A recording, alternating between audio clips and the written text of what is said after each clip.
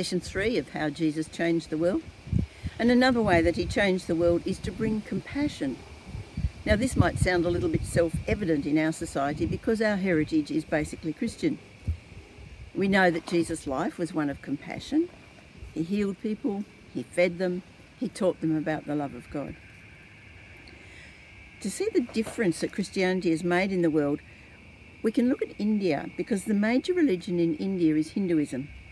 And one of the basic tenets of Hinduism is reincarnation.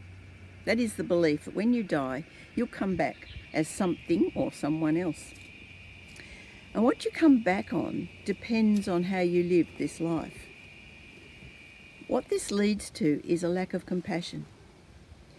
If you're at the bottom of the social rung, well, it's your own fault. It's up to you to live a decent life so that you can come back as something a little bit higher up the scale. So there's no compassion there for a person's situation. Now, women in India still do have a fairly low place. One Hindu tradition was that when a man died, his wife was to be burnt on his funeral pyre with him. And after a case of a, an 18 year old widow being forced to burn herself with her husband's funeral pyre, a law was introduced that banned that. But that brought tremendous demonstration by the Hindus who wanted that law overturned. Because in their way of thinking, there's no compassion for that young woman.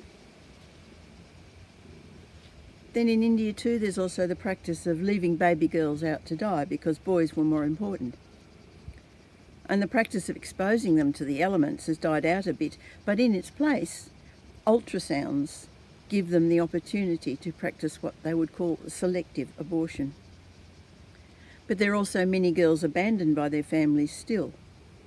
And our church is supporting a Christian mission called Mukti, and they take in these abandoned girls, they give them an education, a home, an education.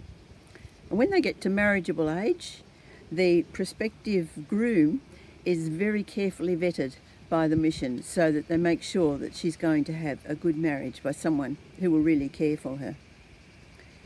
It also takes in some older women because sometimes the men will put their wives out on the street after the children have grown up. They say, thanks, you've done your job, um, off you go.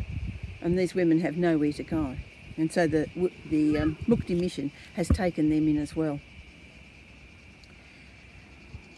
It's Christianity that opposes these actions and reaches out to the people who are abandoned, disabled, outcast, whatever. It's interesting that all the depictions of Hindu gods, they have weapons, whereas Jesus is seen as love incarnate. So the battle between the compassion of Christianity and the complete lack of compassion is most marked in India, but it does exist all around the world. Jesus showed the extent of his love by first living this life without any privileges, but also by giving that life for our sake. And that's real love, when someone will give their life for the sake of another. So if Jesus has done this for each one of us, then we're called to have that same compassion for our fellow human beings. Colossians 3:16 says, "Let the message of Christ dwell among you richly." And his message is love for all.